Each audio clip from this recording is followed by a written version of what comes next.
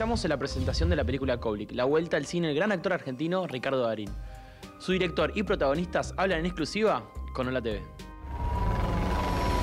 Bueno, Sebastián, eh, contanos primero cómo surge esta idea, este proyecto eh, de hacer Koblik.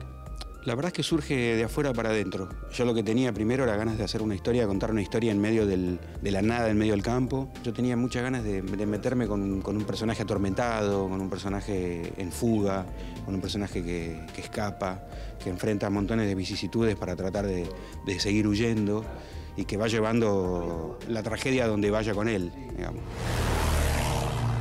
Darín nos contó cómo fue componer este personaje que sale de villano para tampoco ser un héroe. Siempre tenés la obligación como profesional dentro de lo que es la responsabilidad de construir una historia, de tratar de ponerte en, la cabeza o en el corazón de los personajes que tenés a cargo. Y hay algunos que son un poco más cercanos a tratar de entenderlos que otros.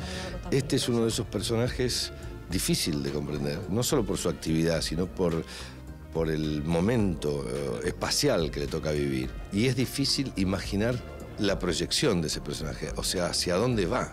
Contra lo que tuvimos que luchar todo el tiempo es que no construir un héroe, porque como espectador y como, digamos, trabajador del, cine, hay una tendencia natural a tratar de buscar que los personajes sean aceptados por la audiencia. En este caso tuvimos mucho cuidado porque por lo que te decía al principio, porque no tenemos idea de cómo realmente piensa este tipo. Tenemos referencias, pero no tenemos certezas.